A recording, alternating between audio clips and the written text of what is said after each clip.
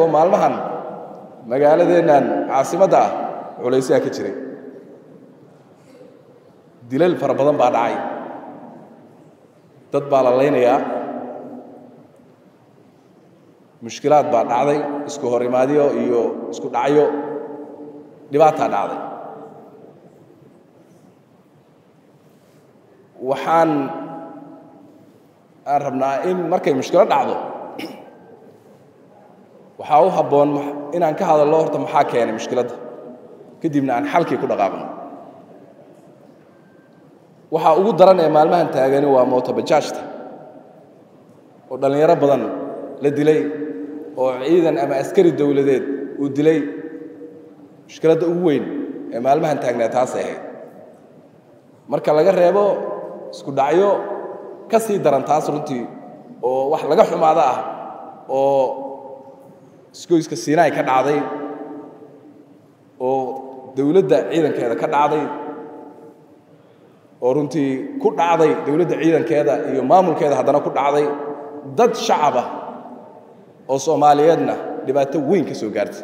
Waan ka tacsiyaynaynaa wax alla wixii wax ku noqday.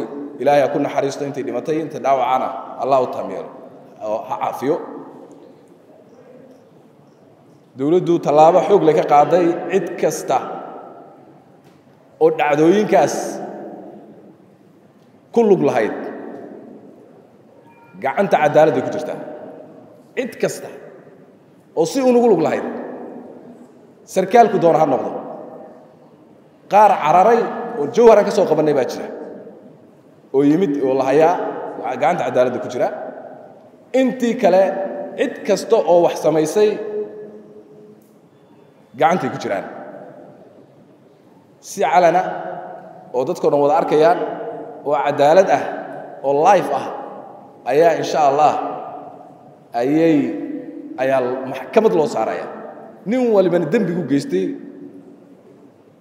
ayaa lagu qaadaya. Waan aqbali weynay waana diidnay waan sameeyey waan socsoconayaa waan sameeyey waan baxsanayaa waan sameeyey waan iska joogayaa suurtagal maaha si adag ayaan uga jawaabnay arrintaas insha allah waanad arki doontaan ilaahay idankiis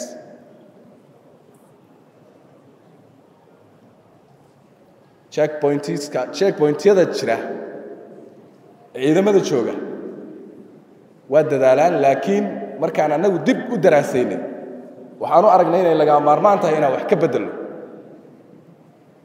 waa askari qayilsan oo indhaha taagaya oo drag soo isticmaalay oo aan miirba qabin. Dee dad shacab ah inuu baaro inuu ilaaliyo inuu checkpointigii dadka kula tacaamulaayo waxay noqonaysaa halistiio qayb ka mida weeye. Marka dhinaca dowladda askarteeda waxbaan ka qabanaynaa. Ballanku waxaa weeye hal askari oo balwad leh inuusan checkpoint taagnaan maalmo inay qaadato way dhici kartaa. De waxaaba laga yaabaa in xulitaanka dadka noocaas maanta dhallinyaradeenna inay u baahan tahay in si weyn loo soo xulo. Laakiin ballanku waxaa weeye askari qaad cuna sigaar cabba wax ka sii daran sameeya shacabka soomaaliyeed uusan checkpoint isu istaagin. Taas waxaa waaye waa go'aan. Waanaad arki doontaan ilahay idankiis